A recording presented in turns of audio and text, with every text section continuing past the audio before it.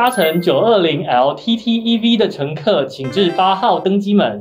请准备好您的护照，我们即将协助您登机。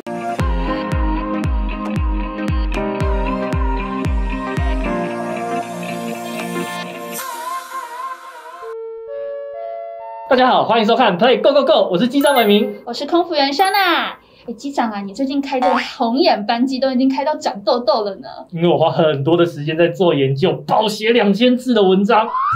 豆豆豆豆，哦，我们是豆豆。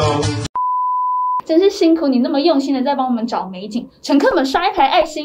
机长啊，最近啊，感觉大盘的局势好像要回到电子股了呢。还有哪些景点值得我们去做留意呢？嗯，我们今天要带大家去的是台积电概念股的景点光阳科跟公准。哎，光阳科现在已经涨很多了，还来得及进场吗？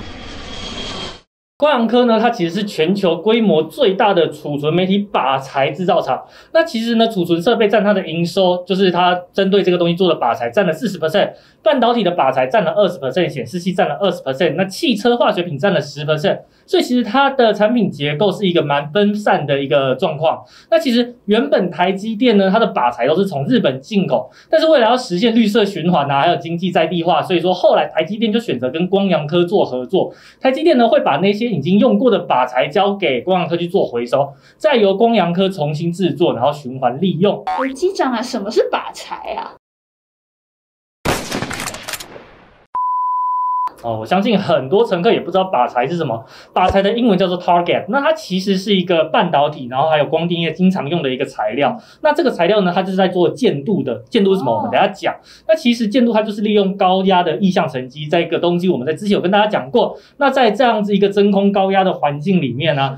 去让那一些电子可以附着在这些我们所有的涂布体上面，那涂布体通常是晶圆片或者是玻璃，那这个加工过程呢，它其实就是我们所谓的建设。哦，那它为什么会叫做靶材啊？嗯，对，因为呢，靶材它这个名称感觉很抽象，其实靶材呢，它其实就是利用一个高能的电子束去打。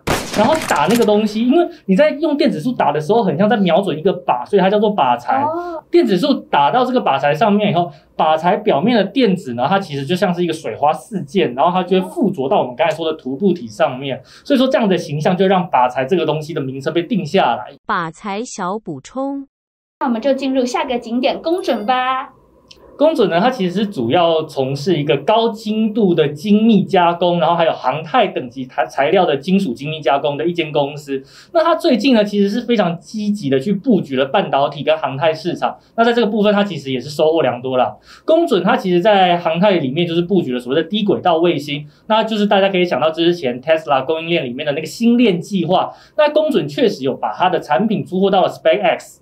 那其实除了这个东西以外呢，今天大家 focus 在的是公准，它其实提供了半导体的 IC 封装模具，还有它的精密零组件这个部分。那产品的营收呢，其实公准它有三十八 percent 是来自于显示器的设备，然后还有三十七 percent 是来自于半导体，航太类占十七 percent，那剩下来其他的部分占八 percent。所以说公准呢，其实它的营收结构也是相当的分散。听完机长的导览啊，对这些相关的产业又更加了解了呢。我们可是很用心的在整理了。来，下一台你想要搭什么？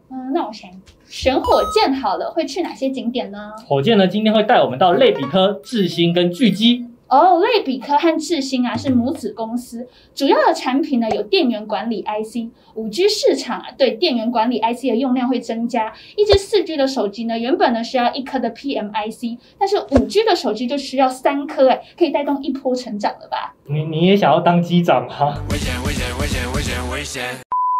好，那我们在这边呢，还是要帮大家做一点小科普的知识补充。其实呢，如果你有在收看我们之前的节目的话，你会知道我们已经分享过了很多关于 IC 的东西。那我们已经讲过了，像是记忆体 IC 啊、逻辑 IC 啊，所以今天要来跟大家讲的东西是类比 IC。所谓的类比 IC 呢，它就是处理类比讯号的 IC。那类比信号是什么呢？它是一个连续的值。那像我们大自然里面的什么光啊、声音啊、温度啊、压力这些东西，它其实就是属于所谓的类比讯号。那在实际上面的应用，例如说像是网络电话，声音要在网络上面做传输，在你打电话的那个人，他其实要先把类比讯号，就是声音，先转换成数位讯号，然后再传送。那接收端的人收到了数位讯号以后，还要再转换回来类比讯号，才变成我们听到的声音。那我们接下来要进入景点智心。哎，智新是台湾前三大的类比公司，诶，呃，不错，有做功课，没有做。智新呢，它其实就是台湾前三大在做类比 IC 的公司。那它其实主要是处理电源管理跟混合讯号的 IC 设计。那电源管理 IC 呢，其实占它的营收七十七 percent。运算放大器的 IC 占它十五 percent，还有温度的侦测 IC 呢，占它四 percent。它的六月营收其实是增加的非常非常快，年增率高达了四十二点八 percent，创单月的新高。那再来呢，我们进入了类比科这一间公司，它最主要的营收来源是来自于六十二 percent 的电源管理 IC，然后还有二十五 percent 的磁场感测及马达驱动 IC，剩下来的十二 percent 是为控制器 IC，也就是所谓的 MCU。那类比科的六月它的营收呢，其实也是非常非常的惊人，年增率高达四十七点二 percent。那我们预期呢，在这一个电源管理 IC 上面用量最大的八寸晶圆持续的在做量产，所以产品的交期一直不断的在做拉长，预计下半年呢还是可以非常非常的旺。那最后呢，我们要来带大家看一档巨基，巨基呢其实就是全球第一大的显示屏，也就是 LED 的驱动 IC 厂。那 LED 驱动 IC 占它营收九十九几乎全部都是啊。那主要是销售给中国大陆。那因为目前下半年呢供应链其实是持续吃紧的状况，代工成本一直不断的在做调高，所以巨基呢他自己也表示不排除价格会再继续调涨来稳定他们的获利表现。再加上巨基近年呢一直积极的在发展 Mini LED 背光模组，也在第二季开始小量的出货了，目标今年会占到它的营收比重十 percent。这些景点都好美哦，但是我还是没有玩够，啊，会炒的孩子有糖吃，让我来带你去太空旅游。是秘密星球吗？